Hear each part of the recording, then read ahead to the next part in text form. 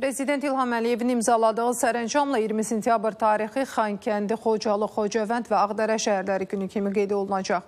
Lokal xarakterli antiterror tədbirlərindən sonra isə bu torpaqlara sürətlə həyat qayıtdı. Yenidən qrup yaratmağa başladıq. Bugün artıq 32 ildən sonra Xocalıda, Xankəndidə, Malıbəyli və digər tarixi torpaqlarımızda sürətli quruculuq işləri aparılır, yeni yollar salınır.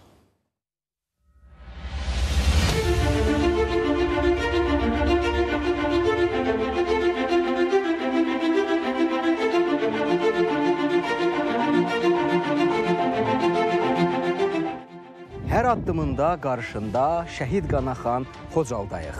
İllər keçdi, həsrət bitdi. 32 ildən sonra bu torpağın həqiqi sahibləri öz doğma dədə-baba yurdlarına qayıtdılar. 3 ay öncə ilk köçün baş tutduğu Xocalıda buranın sakinlərindən biri ilə həmsöhbət olacağıq.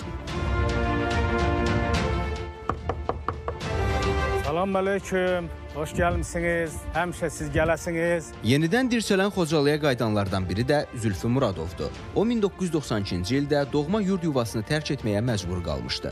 Xocalıdan ilk şəhid Zahid Muradovun qardaşı olan Zülfü kişi 1986-cı ildə öz zəhməti ilə tikdiyi həmin evinə qayıdıb. Həyatı boyu fikirləşmirdik ki, 32 ildən sonra qayıdaraq öz torpağımıza, öz vətənimizə, öz evimizə, bəli. Ürəyim o qədər şaddır ki, yəni öz evimdə, öz torpağımda Zülfü kişi indi Xocalıda keçirdiyi hər gündə keçmiş günlərini xatırlayır.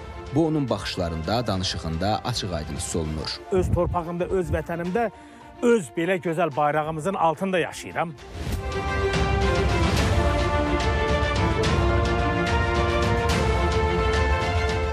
Əhməd qoy yesin Xocalı gavalısın. Gedəndə desin ki, əmim qapısında gavalı da yığdıq, yedik. 1992-ci il fevralın 11-də Malıbəyli, aşağı və yuxarı Quşçular kəndlərinin sakinləri dağları, meşələri aşıb keçərək çətin bir yol qət etdi. Həmin gün şəhidlər də oldu, girov düşüb yaralananlar da. Amma bu gün artıq təqvimdə biz bu yerlərin azad olunduğu günləri qeyd edirik. Antiterror tədbirlərindən sonra azadlığına qovuşan bu kəndlər yaxın vaxtlarda ilk sakinləri qəbul etməyə hazırlaşır.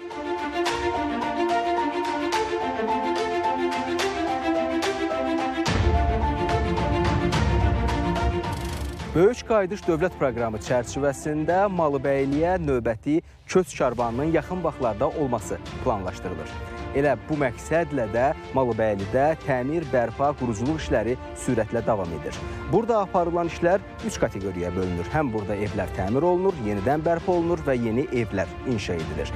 Bir vaxtlar zəfər əldə etmək üçün çıxdığımız yolda indi yenidən qurma işləri sürətlə davam edir.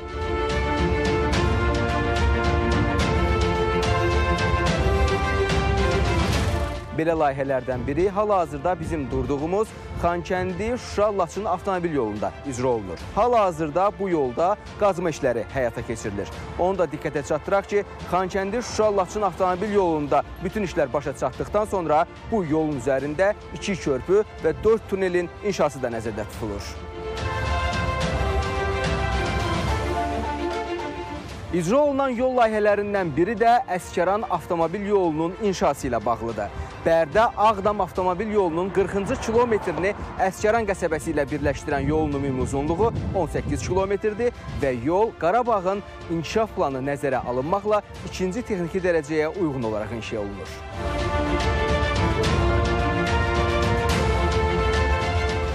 Hər birimiz buna inanırdıq və gec-tez həmin günün gələcəyi vaxtı gözləyirdik. Zaman yetişdi. Bu şəhər öz adı ilə bütün gerçəkləri dünyaya sübut etdi.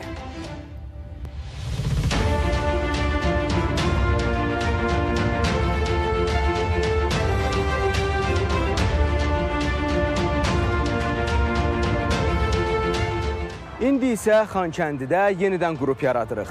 Bu əraziləri abadlaşdırırıq. Bir sözlə, bu gün bu şəhərdə nə Stepan ruhu qalıb, nə də dırnaqarası separatçıların izi tozu. Onlar Bakıda əməllərinin cavabını verirlər. Biz isə əzəli və əbədi torpağımız olan Xanın kəndindəyik. Əhməd Məmmədov, Ələl Əkbərov, ATV Xəbər.